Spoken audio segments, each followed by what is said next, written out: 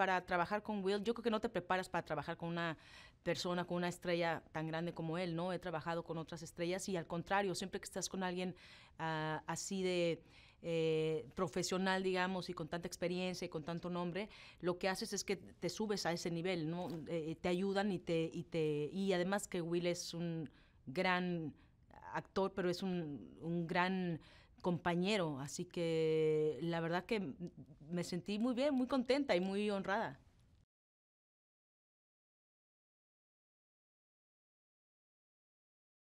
Después de 23 y luego de 17 años, me parece que es interesantísimo el twist que le hicieron a la historia.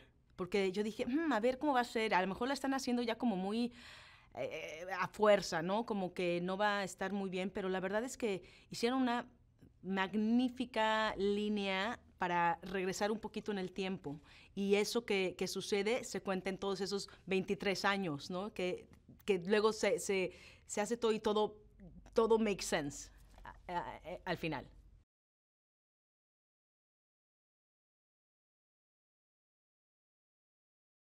La relación de ellos es muy chistosa porque eh, los dos se entienden muy, muy bien. Will, a veces de instrucciones, Martin, es que es muy chistoso porque creo que son muy parecidos en, en- en- la historia que en la vida real. Así se llevan literalmente en, en- la vida real, en lo poco que estuve con ellos en el set, ¿no? Pero es, es muy divertido verlos juntos y además el, se ve que primero tienen un cariño muy especial entre los dos y también un respeto muy, muy especial. Pero porque además se burlan el uno del otro, pero con, siempre con mucho respeto y es muy divertido.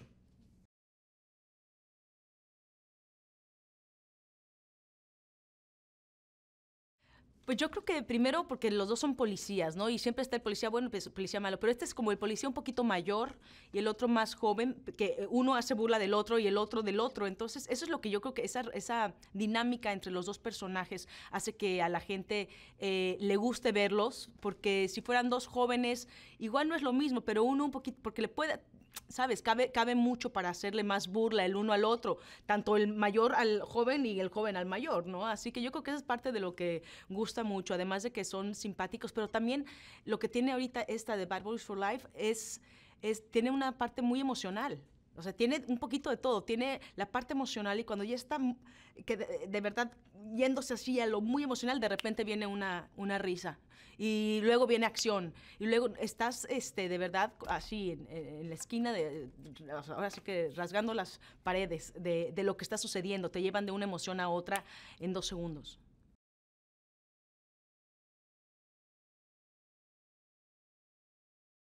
Y me gusta mucho que fueron muy auténticos con todo, ¿no? Se fueron, eh, si la chica es mexicana, es mexicana, ¿no? Yo soy, yo más mexicana que yo no se puede poner, así es que se van con una mexicana, este, van eh, a, filmar a México, este, eh, eh, bueno, y luego también tienen, se van mucho por la cosa latina, como Nicky Jam, ¿me entiendes? Luego con Vanessa Hudgens, que trae a todos los chavos y que trae a todo el mundo vuelto loco, ¿no? Y, una cosa latina muy linda. Y también me encanta que, que tanto Will como, la verdad es que todos los demás del elenco tratando de hablar español, le están, ya es diferente que hace algunos años. Ahorita sí la gente, eh, por lo menos los americanos, están queriendo hablar y abrirse mucho más al español, abrirse mucho más a los acentos y todo esto. Y, y en esta película lo mantuvieron muy, muy bien.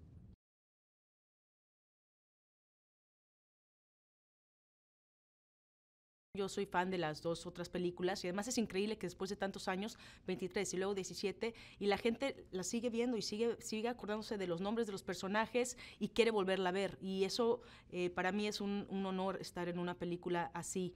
Eh, porque, porque la razón es que tiene todo lo que a uno le gusta ver. Yo como audiencia, como público, a mí me gusta ir a ver acción, me gusta ir a ver eh, romance, me gusta ir a ver eh, que, que me hagan reír y también que me toquen el corazón y que me hagan llorar. Y creo que esta película tiene absolutamente todos los elementos y, eh, y de una manera dinámica y que se va, cuando te va, estás yendo de mucha, mucha risa, te vas entonces a la acción. Después de la acción te vas otra vez a la risa, después de la risa te vas otra vez, pero ahora a lo emocional.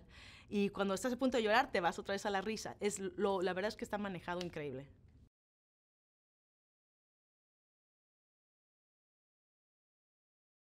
Eso me, me, encanta. Mira, la verdad es que Miami es otro de los personajes de estas películas, porque todo pasa ahí y le da esa pues esa cachondería, ese rollito sexy, ese rollito de, que hay una diversidad también de latinos ahí, de todas partes de Latinoamérica, además de obviamente de, de todo Estados Unidos, pero eh, a mí me encanta esa vibra porque nunca sabes a quién te vas a encontrar, nunca sabes quién eh, viene de dónde o de qué parte y tiene un ambiente muy lindo. Yo creo que aunque se estén muriendo de frío la gente en Atlanta o en donde sea que estén, este, les va a dar calor de ver la película. that.